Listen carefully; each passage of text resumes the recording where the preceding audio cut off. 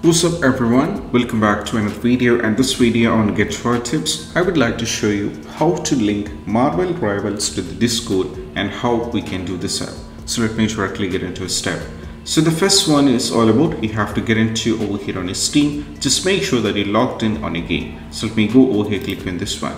So guys, once you signed in on the game or once you launch the game, we will be having these options and over here you can see there is an icon, just click on the settings and this is for the basic settings that you can set this up. And also we have options like you know discord twitter and even we have you know the youtube and all those things. So how we can add this completely?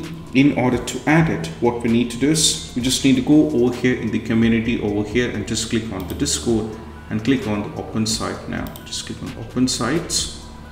That's going to take you to the official marvel discord platform where as you can see it will be opening your discord app.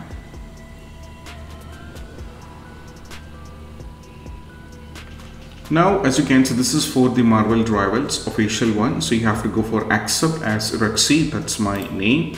Just go for this one. And right now this is very easy. Uh, usual ways which many youtubers has shown it in in a very lengthy way, but I'm demonstrating with an easy way. Now from here you have to select the English, go for next, go for the country that you're living right now and go for PC and go for next and scroll down, skip this and go for finish.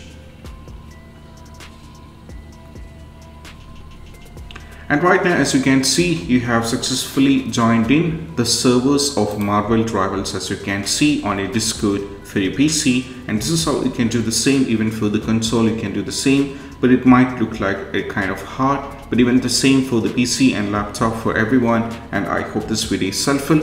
And if you find this video helpful, don't forget to subscribe and click on the bell icon for more notifications you might be seeing. After you sign, you might be getting an option to continue to Discord. So what happens is you'll be taken into another page like this.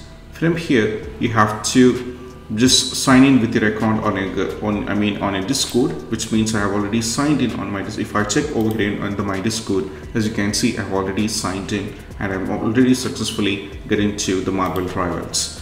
Now this is how we can do this and I hope this video is helpful and if you find this video helpful don't forget to subscribe and click on the bell icon for more notification. That's it. Bye bye.